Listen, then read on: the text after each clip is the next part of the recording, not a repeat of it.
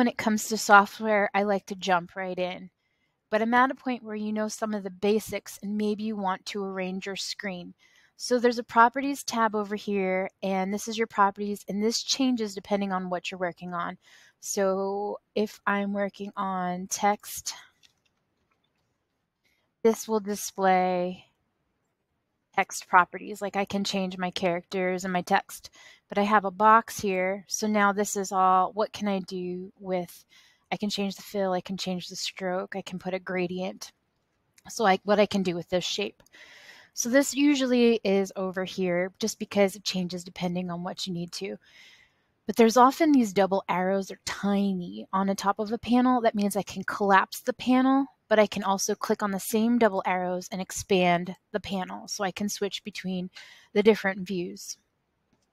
Um, if I have, for instance, we just were looking at gradients recently, and I use this a lot, um, I can take this and drag it so it's now part of my properties.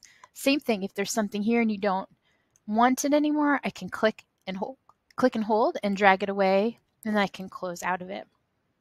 So a lot of people take some of the common panels that they use and stick them on the screen. Um, we used Appearance lately, um, recently.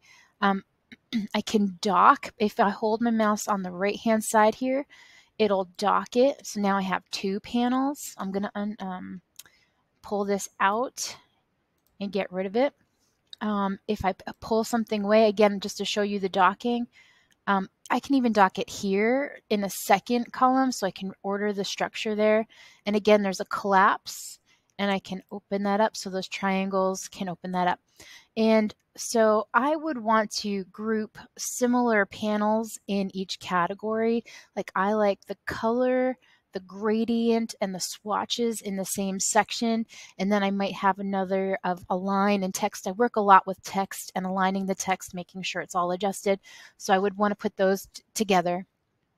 And again, maybe you'd find some of these workspaces um, that work for you. Or if this is the setup that I want, I can actually create a new workspace and I can call this whatever I want. Um, and then if I ever try another workspace, there's the layout workspace, but under workspace, now I have this tutorial that I just set up and this takes me back to the screen that I had. So you can arrange your panels as you wish. You can pull them out, you can delete things, you can name things so you have your own common settings that you like. Um, but there's workspaces and, and that's just how you can arrange things on your screen.